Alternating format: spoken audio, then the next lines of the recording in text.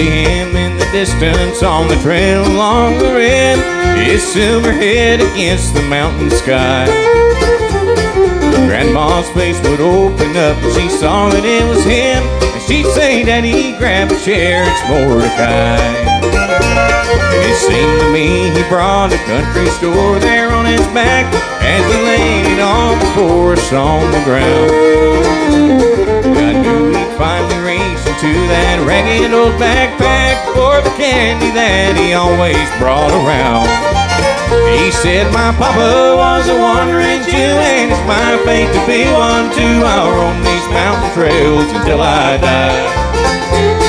Perhaps one day I'll see my home. Then he smiled and turned to go, and we all say goodbye to Mordecai.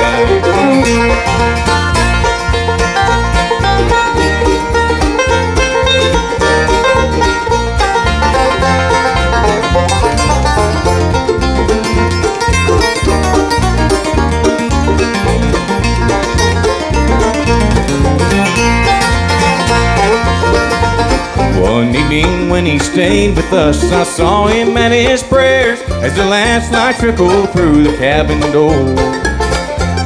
He stood before the little yellow candle burning there, softly speaking words I'd never heard before. I told him how my grandma said it troubled her mind so. Such a fine man wasn't washed in the blood of the lamb. And said, Tell Grandma if it pleases her to know that she and I both pray to the God of Abraham. He said, My papa was a wandering Jew, and it's my fate to be one too. I'll roam these mountain trails until I die. Perhaps one day I'll see my. Then he smiled and turned to go, and we all say goodbye to Mordecai.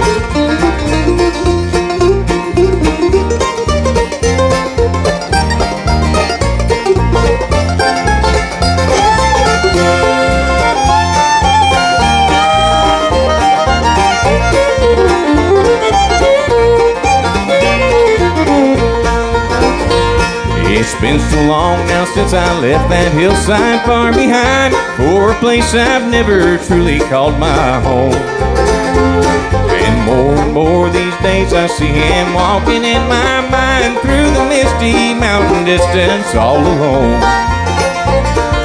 Mordecai was a wandering Jew in my own way. I am one too. I hope to make it home before I die.